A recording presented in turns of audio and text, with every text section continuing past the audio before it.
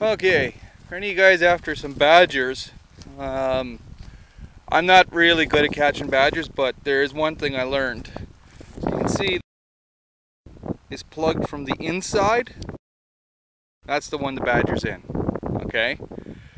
Do not use a body grip over this hole because as he digs his way out, he pushes all the dirt out and snaps your trap. And if you do catch him, you'd be lucky you might catch him by the tail because he comes out backwards, pushing all the dirt out. So what you want to do is look in the area, which he doesn't have right here. Anyway, you want to look for any other new fresh diggings. Um, yeah, I don't see any here. uh, no, just a bunch of moles and stuff. Anyway, what you want to do is you want to find a hole that looks like that, but doesn't have any dirt in it. Throw your bait down there, put your body grip in front of that. Then when he comes out of this hole, he goes over, say, over here to this hole, and he goes in to get the bait and gets caught. You try setting anything here, leg hold, body grip, snare, whatever, it doesn't matter. He's going to push it out of the way as he's coming out and he won't even know you had a trap there. Uh, it, like in this situation, I haven't got a trap here for him. I'm going to try going for this guy now.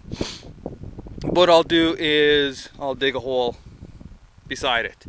So whenever he comes out, here in uh, southern Saskatchewan, the badgers pretty much hibernate all winter. What you got to do is you got to watch your weather forecast. And when you start getting into minus one to plus three kind of temperatures in the middle of winter, you better have your badger sets waiting, ready, free of snow, you name it. So when this badger does come out, you can get him. You have an actual chance. This badger will stay in here for a month at a time.